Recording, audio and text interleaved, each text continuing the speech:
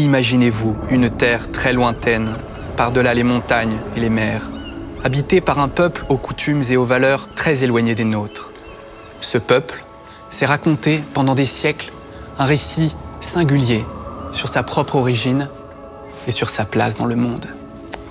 Imaginez alors que pour éviter que ce récit ne se perde dans les tourments de l'histoire, on ait fini par le consigner par écrit dans une langue que probablement ni vous, ni vos proches ne comprennent. Plusieurs millénaires plus tard, cette histoire a passé sur toutes les bouches. Elle a été tronquée, déformée, divisée, mal traduite et mal retraduite. Elle s'est chargée du poids des commentaires et elle vous arrive dans un état défiguré. Le vieux mythe racontait la création d'un monde parfait au sein duquel l'être humain est fabriqué à partir de la terre glaise. Et moi, je n'y lis plus que la construction en six jours chrono du zoo de Vincennes, au milieu duquel on a placé un mec. Le vieux mythe racontait le désir naturel de la transgression qui conduit à mourir, certes, mais donc en attendant à vivre. Et moi, je n'y lis plus que la dispute d'un vieux couple hétéro autour d'une pomme bien rouge. Aujourd'hui, on voudrait vous parler d'un livre qui est comme une vieille chanson d'enfance dont vous ne connaissez que le refrain. Un livre dont tout le monde connaît le titre, mais dont bien des gens ignorent ce qu'il raconte vraiment. Un tout petit bouquin que nous a légué un très vieux peuple de bergers. Un bouquin qui en commence un autre. Aujourd'hui, on voudrait vous parler de la Genèse.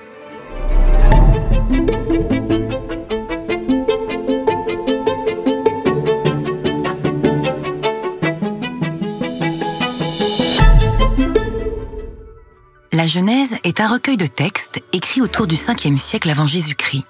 Ces textes, ce sont les histoires que se transmettaient les premiers Hébreux il y a plus de 2500 ans pour se raconter leurs origines. Car le mot Genèse, qui donne son titre à l'ouvrage, désigne l'origine, la naissance de quelque chose. Dans notre cas, la naissance de toutes les choses. Il s'agit en effet du récit romancé de la création du cosmos et de tout le monde, visible et invisible. Dieu crée le monde, puis l'homme et la femme, ceux-ci ont des enfants qui ont eux-mêmes des enfants. Derrière ce pitch classique se cachent des surprises, puisque si la survie est un enjeu central pour les personnages, celle-ci dépend tout autant de leur capacité à trouver de l'eau dans le désert qu'à savoir prédire l'avenir en interprétant les rêves. La Genèse, texte écrit en plusieurs fois, à différentes époques, par différentes personnes et selon des styles divers et variés, est un récit patchwork. Il y est beaucoup question de trahison et de réconciliation. Premier. Dieu crée ciel et terre. Terre vide, solitude, noir au-dessus des fonds souffle de Dieu, mouvement au-dessus des eaux. Bizarre. On ouvre la Genèse et on tombe sur un poème. Un poème très beau et très frappant sur la création du monde. Mais rapidement, dans ce poème, naît une histoire. Celle de la relation entre un Dieu et sa créature. Une créature tirée de la terre glaise, Adama en hébreu.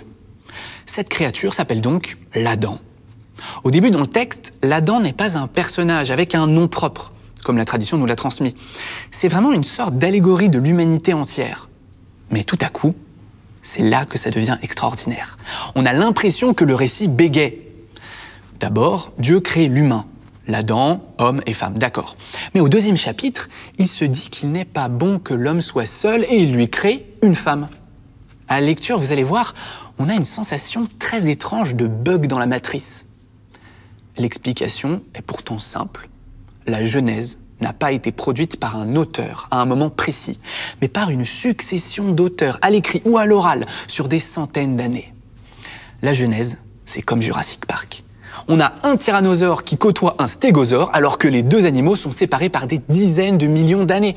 De la même façon, certains chapitres écrits pendant une période donnée se retrouvent mélangés avec d'autres chapitres beaucoup plus anciens. Bref, le livre que j'ai dans les mains. C'est une compilation de toute la tradition. Oui, c'est clair. Et en fait, euh, moi-même, j'ai été un peu perturbée la première fois que j'ai ouvert la Genèse, parce que je m'attendais à trouver une histoire linéaire du peuple hébreu, écrite par un témoin direct qui raconterait les événements l'un après l'autre, comme une sorte de journal de bord, presque sur le mode de euh, jour 18, euh, aujourd'hui j'ai dû manger un fruit bizarre parce que le serpent me parle. Et en réalité, chaque chapitre de ce livre gagne à être compris comme une production particulière, élaborée dans un contexte particulier et est rassemblé plus tard. Par exemple, le bégaiement dont tu parles, c'est que la longue poésie de la création au premier chapitre, elle est plutôt issue de la tradition des rabbins, elle ressemble sûrement à ce qui devait scander à la synagogue. En revanche, le récit du deuxième chapitre, celui qui est beaucoup plus narratif, eh ben, là, il est plutôt issu d'une tradition populaire, du genre des vieux contes qu'un parent raconte à son enfant le soir quand il s'inquiète de savoir d'où il vient, etc. Mais donc, s'il y a des endroits où ces récits divergent entre eux, ça n'a aucune importance. C'est que la divergence, elle va porter sur des éléments qui n'ont pas été considérés comme décisifs. En revanche, là où ces récits se rejoignent tous, c'est sur la présence récurrente d'un même personnage. Un personnage qui peut prendre des formes différentes, mais qui est toujours dans les parages, qui peut donner une postérité aussi nombreuse que les étoiles du ciel, ou bien faire tomber la pluie pendant 40 jours, ou un an d'ailleurs, c'est pas clair, mais c'est pas grave. Un interlocuteur dont le nom a été traduit par Dieu, mais qui en réalité, dans le texte original, n'est qu'une suite de quatre consonnes dont les voyelles sont inconnues. Y, H, W, H. Cet interlocuteur a la particularité de n'être ni homme ni femme, et ce qui pourrait presque nous faire oublier que, quand même, dans cette histoire, il n'y a pas beaucoup de personnages féminins.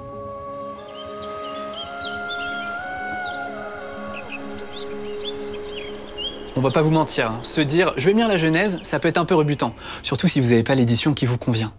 Par exemple, en essayant de l'ouvrir dans la Bible elle-même, qui est une véritable bibliothèque d'environ 70 livres, j'ai trouvé ça assez frustrant parce que la Genèse, c'est vraiment un tout petit bouquin, donc j'avais l'impression de lire une minuscule partie d'un immense monument. Et c'est pour cette raison qu'on vous propose de vous y plonger dans la traduction Bayard, qui nous a beaucoup plu. Cette traduction, elle est née d'un projet laïque mené il y a une vingtaine d'années. Chaque livre de la Bible y est traduit par deux traducteurs un romancier d'un côté, qui peut aussi être poète, et de l'autre côté, un spécialiste des langues anciennes. À la lecture, on sent bien la richesse de cette collaboration entre l'érudition et la pure poésie. En plus, les notes à la fin permettent de comprendre davantage l'esprit du texte en hébreu, ce qui est assez passionnant quand on ne connaît pas la langue. Ceci étant dit, le plus important, ça reste que vous trouviez la traduction qui vous corresponde. Vous préférez une traduction arrimée au texte originel? Prenez la Bible d'André Chouraki. Préférez une traduction très facile à lire, comme celle de Jean II Une plus ou moins proche de telle ou telle sensibilité religieuse, comme la Torah, la Darby ou la traduction écuménique de la Bible? Ou alors peut-être que vous préférez une traduction avec un appareil critique colossal pour les maniaques comme moi qui veulent connaître l'état de nos connaissances sur chaque verset de la Bible. Dans ce cas-là, prenez la Bible de Jérusalem. Celle-ci, en tout cas, nous paraît être parfaite, avec un bon compromis qui plaira aux petits et aux grands. Et justement, toutes les fois que la traduction vient coller au texte hébreu originel, on constate qu'il y a des choses qui sont bien différentes de ce qu'on s'imagine. Par exemple, vous connaissez sans doute l'histoire de Caïn et Abel, qui est une réécriture du mythe des deux frères ennemis qu'on trouve dans beaucoup d'autres vieilles traditions, comme Osiris et Seth en Égypte ou Romulus et Rémus à Rome. Alors Caïn et Abel sont présentés comme les deux enfants d'Adam et Ève. Ce sont les deux premiers frères du monde. Chacun fait une offrande à Yahvé et pourtant, Cain est jaloux de l'offrande d'Abel. Il a le sentiment qu'elle est meilleure que la sienne. Il sent la colère lui monter comme la moutardonnée et sous un faux prétexte, il attire son frère au champ et il le tue. En châtiment, il y avait l'exil. C'est une histoire que vous connaissez peut-être et, pourtant, si on se penche d'un peu plus près sur le texte, bah, il y a plusieurs choses étonnantes. D'abord, Abel, c'est pas vraiment un personnage de l'histoire. Il ne parle pas, il n'agit pas, il n'a aucune hostilité envers Cain. C'est presque un PNJ, un personnage non jouable. Et c'est sans doute pour ça qu'en hébreu, où les prénoms ont toujours une signification, eh bien Abel signifie buée, inexistence. À vrai dire, dans le texte, le terme qui le désigne le plus souvent, c'est celui de frère. Comme si le vrai sujet de cette histoire, c'était l'acceptation ou non de cette fraternité par Cain, premier humain. Quand Cain sent la colère bouillir en lui, Yahvé le prévient et lui dit Le mal est tapis devant ta porte. Mais Cain refuse d'écouter Yahvé et il va plutôt voir Abel à qui il dit On ne sait pas. Le texte ne le dit pas. Il y a écrit Et Cain dit à Abel son frère. Et puis il y a un blanc. Et le texte poursuit en disant Et il arriva que quand ils étaient au champ, Cain se leva contre Abel son frère et il le tua. Alors qu'est-ce que Cain a dit? Bah, Le texte hébreu originel ne mentionne aucune parole. Et pourtant, à part quelques traductions, dont la Bayard, elles ont toutes comblé ce vide, avec une phrase telle que sortons ou allons dans la campagne, ou alors en traduisant dire par parler, se quereller. Sauf que même les textes de Qumran, qui sont de très très anciennes copies qui ont été retrouvées intactes dans les années 50, eh bien, ils attestent ce blanc. Alors, comment interpréter ce blanc? Mais Il nous semble, à nous comme à d'autres, qu'il vient attirer l'attention sur l'absence de dialogue. Caïn avait été invité par Yahvé à sortir de son isolement. Et pourtant, le vide du texte vient illustrer l'avortement du dialogue fraternel, qui aurait pu enrayer le cycle de la violence. Il y a là déjà la négation du frère, dont le meurtre ne sera que la traduction logique. Et c'est là qu'on remarque que Caïn, lui, il n'est jamais désigné comme le frère d'Abel. Ce qu'on a sous les yeux, c'est pas une histoire de deux frères ennemis entre qui le plus fort triomphe. Ce n'est pas l'histoire d'un conflit entre le bon et le méchant dont Dieu serait l'arbitre. C'est l'histoire de Caïn, c'est-à-dire de tout humain face au défi de la fraternité qui est inscrite en lui. Et c'est ça qui rend la jeunesse si singulière. C'est le texte mythique d'un peuple de bergers qui cherche à donner sens aux grandes questions. D'où venons-nous? Pourquoi le mal existe-t-il? Comment vivre ensemble? Quel rapport entretenir avec autrui? 3000 ans plus tard, leur réponse trouve encore moyen de nous parler.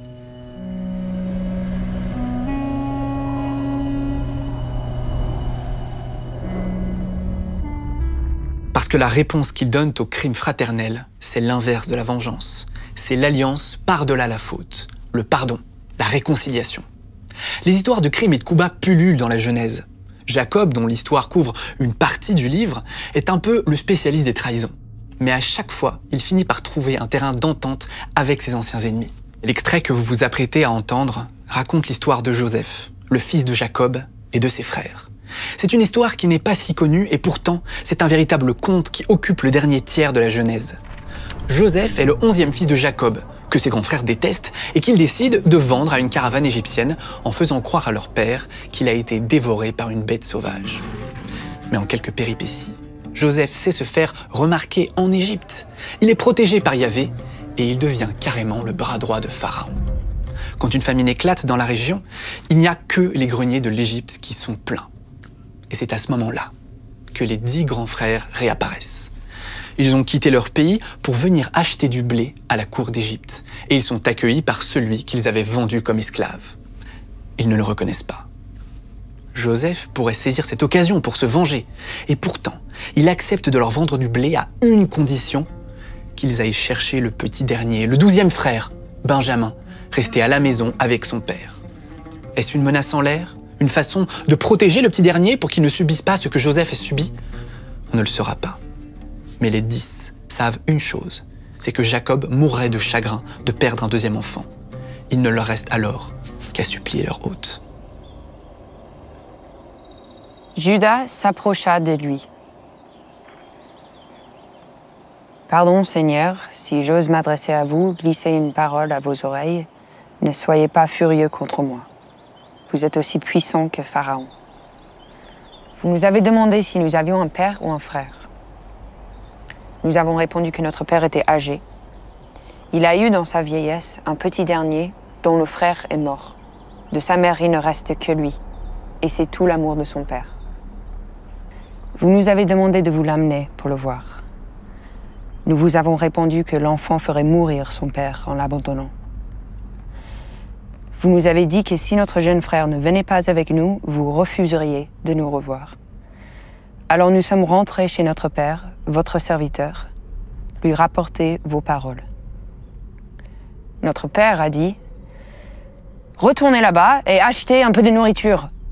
Impossible, lui avons-nous répondu. Nous irons seulement avec notre jeune frère, car sans lui, nous ne pourrions pas revoir l'homme. Notre père, votre serviteur, nous a rappelé qu'il avait eu deux enfants de sa femme et que l'un d'entre eux l'avait quitté. Déchiqueté par une bête, déchiqueté, comme il a dit. Depuis, il n'a plus jamais revu. Comment oserions-nous lui enlever l'autre également? S'il lui arrivait malheur, il en mourrait de chagrin que je rentre chez mon père sans son enfant, comme leurs deux vies ne font qu'une, en voyant que son enfant n'est pas avec moi, il en mourra. Nous aurons fait descendre les cheveux blancs de notre père dans la douleur au Shéol, car je me suis porté garant de cet enfant devant mon père, en disant que si je ne lui ramenais pas, je serais coupable devant mon père pour toujours. Laissez-moi, s'il vous plaît, prendre la place de cet enfant et devenir votre esclave pour qu'il reparte avec ses frères. Comment revoir mon père si l'enfant n'est pas avec moi? Ah, Je ne veux pas voir le malheur qui tomberait alors sur mon père. Joseph ne parvenait plus à se dominer devant tous les autres. Il s'écria Que tout le monde sorte Et il n'y avait plus qu'eux quand Joseph se fit reconnaître de ses frères. Pleura si fort qu'il fut entendu de l'Égypte, entendu de Pharaon et des siens.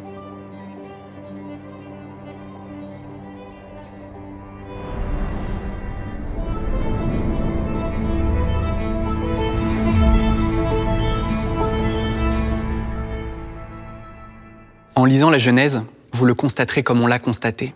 Il y a un grand écart dans le style entre les histoires très narratives comme celle de Jacob ou de Joseph et les poèmes mythiques de la création, du déluge et de la tour de Babel.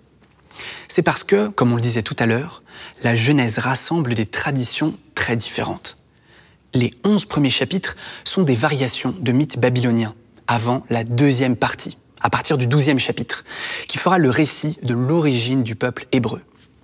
Alors, pourquoi ces textes commencent par un récit de création repris d'une autre civilisation En fait, il faut vraiment voir ce livre comme une sorte d'anthologie de plein de récits qui, mis ensemble, prennent un sens singulier.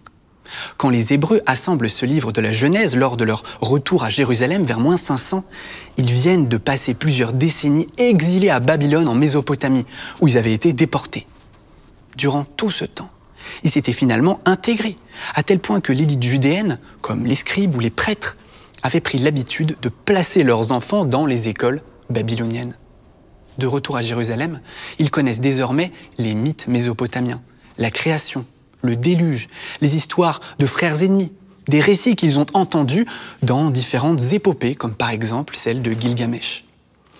Ils peuvent alors rattacher les histoires de la fondation de leur peuple par leurs ancêtres bergers aux récits mésopotamiens, qui entre-temps ont été modifiés, parfois en profondeur, pour coller avec leurs valeurs.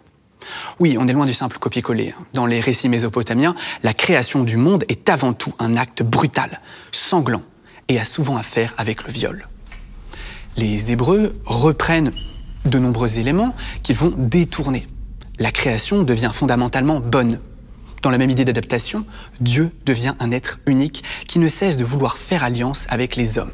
Et la relation entre l'homme et la femme devient une question importante. Ces trames particulières aux Hébreux vont alors se développer et prendre de l'ampleur dans les histoires suivantes, les histoires plus narratives. En ayant ça en tête, on pense que vous arriverez mieux à voir la continuité dans ce récit qui peut paraître parfois un peu décousu si on n'y a pas été préparé. Alors voilà, on a voulu faire cette vidéo pour vous accompagner un peu dans la lecture et puis pour vous donner une vue d'ensemble de ce livre étrange et beau qui n'en finit pas de faire parler de lui. Mais pour synthétiser un peu tout ça, eh ben, je voudrais dire ceci. Les onze premiers chapitres sont ceux dont Redek parlait, eh bien, ils mettent en scène un véritable corps à corps entre Yahvé et l'Adama qu'il a créé. Et la question c'est, est-ce que l'humanité accepte son statut de créature ou est-ce qu'elle refuse toute dépendance? Est-ce qu'elle reconnaît la fraternité humaine? Ou est-ce qu'elle sombre dans la violence? Est-ce qu'elle grandit en harmonie avec la nature? Ou est-ce qu'elle en subit les débordements? Ces récits sont bien denses. Il y a plusieurs fois des généalogies que personnellement j'ai lues en diagonale, mais tout ça est conçu comme une sorte de grammaire, d'allégorie universelle pour tenter de comprendre l'aventure de l'humanité tout entière, mais aussi les aventures particulières chaque individu. La deuxième partie du livre, du chapitre 12 au chapitre 36, est une longue histoire de famille, depuis Abraham, son fils Isaac, son petit-fils Jacob et ses douze arrière-petits-enfants qui formeront les douze tribus d'Israël. C'est une famille de pasteurs nomades qui voyagent dans le croissant fertile en marge des populations sédentaires, accompagnés de son Dieu, dont la bénédiction assure la fécondité et la survie de la famille, à condition d'avoir confiance. Vous y suivrez leur migration, le choix des campements, combien l'hospitalité est pour eux un devoir sacré, et comment chacun de ces antiques personnages galère pour devenir quelqu'un de bien. C'est pour ça que la Genèse se clôt sur le roman de Joseph, dont on a déjà parlé, et qui est une des nombreuses raisons pour lesquelles on pense que vous allez aimer ce livre. Joseph, c'est l'histoire du petit qui devient grand. C'est l'histoire de l'enfant perdu qui sauve sa famille au moment où la famine menace. Alors, peu nous importe que Joseph ait ou non existé, ce n'est pas ça le sujet. Le sujet, c'est que la Genèse s'ouvre sur le meurtre du frère et elle se clôt sur la réconciliation, sur des bras grands ouverts et sur des larmes de joie si torrentielles qu'elles résonnent dans toute l'Égypte et jusqu'à vous aujourd'hui.